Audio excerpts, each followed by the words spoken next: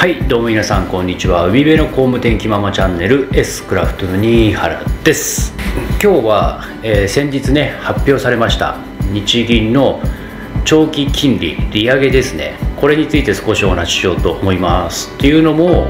えー、これ住宅ローンを組む方もしくはもうすでに組んでいる方にとって、まあ、間違いなく影響してくる部分になるからです。でどのような発表だったかというと、えー、これまではプラスマイナス0.25%を、まあ、長期金利の上限にしてたわけですよね。それを、まあ、プラスマイナス0.5%まで上限を、まあ、認めるっていう形になりました。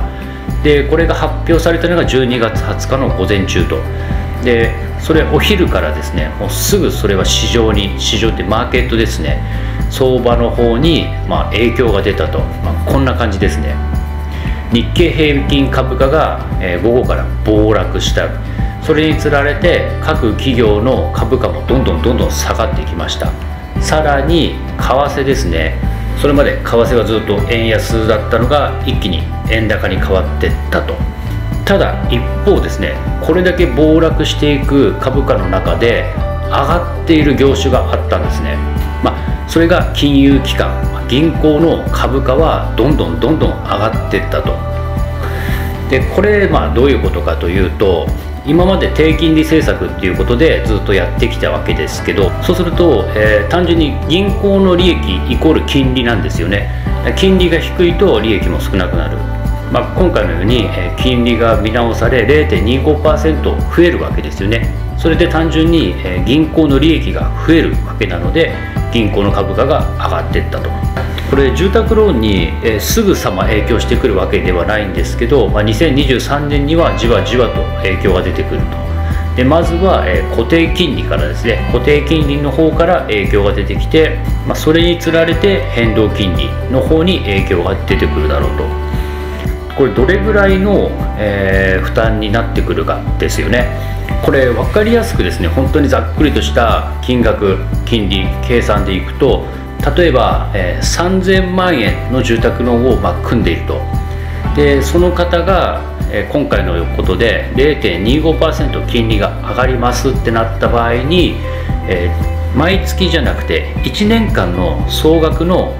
返済額がプラス7万5000円ぐらい増えるっていうイメージになります。まあ、月々にすると6000円ちょっと増えるっていうイメージですよね。3000万円の場合、え、さらに言うとその住宅ローンで0.25%金利が上がったという前提で住宅ローンの計算をした場合に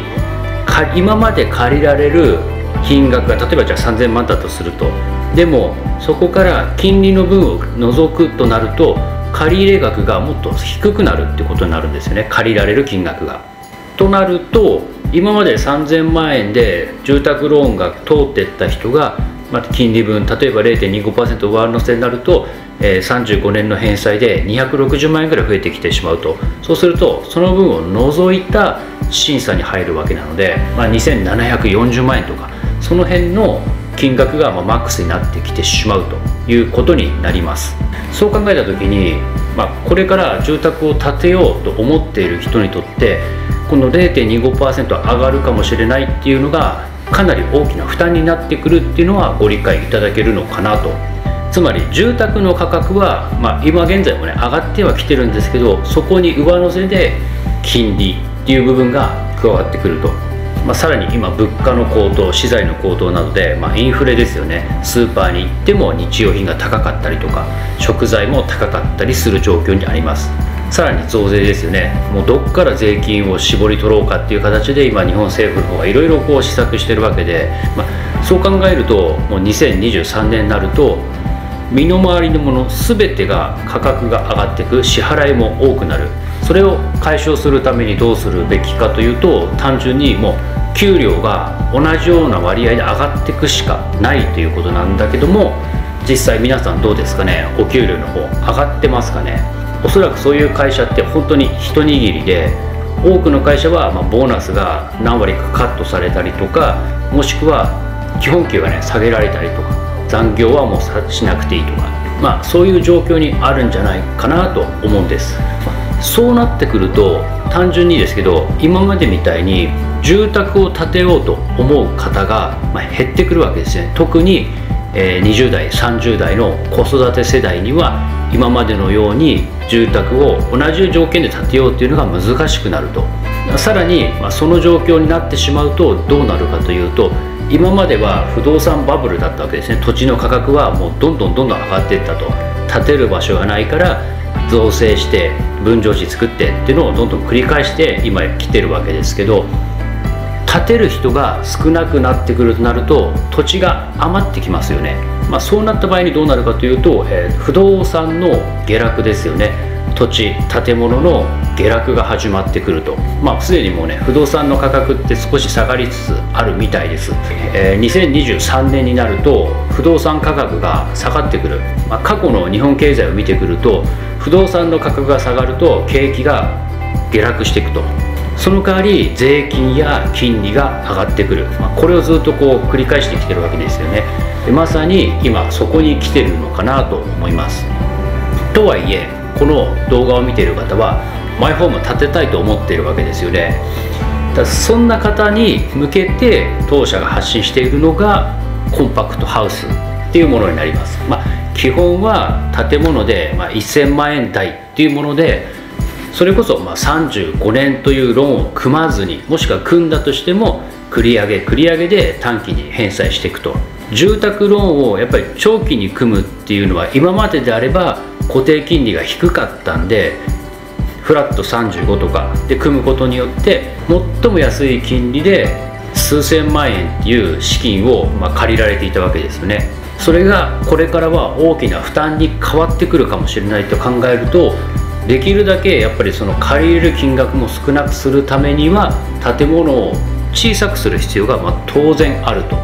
そこでやっぱりコンパクトハウスだねっていう形になってくるのかなと思ってます。これはですねあの自分自身がそのコンパクトハウスっていうのが世の中にどんどんどんどん広まってほしいと思って、まあ、そういったね発信をずっとしてきてるんですけど今日本経済、まあ、社会もそうなんですけどおそらくそういう方向に進んでいくのかなと思ってます。なんで今日こんな動画を撮ってるのかというと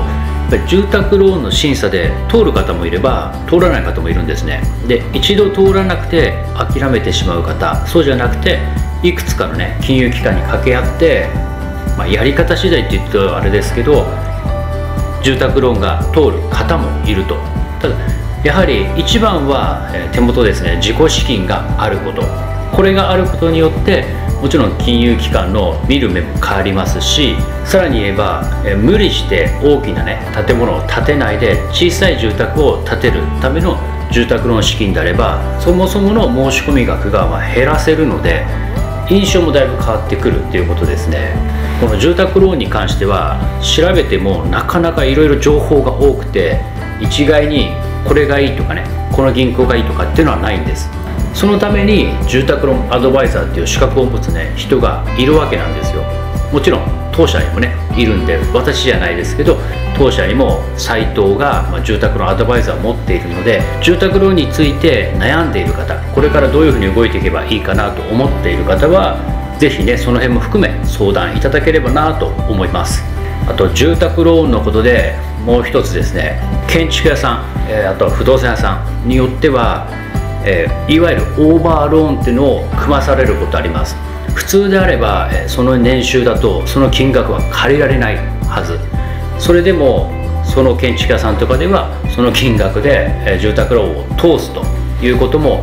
実はね結構あるんですよ。そうするとどうなるかというと建ててから住み始めてからすっごい苦労します返済できなくてその住宅を手放すことになるかもしれない、まあ、そういったリスクもしっかりと考えて建築屋さん不動産屋さんを選ぶべきかなと思います。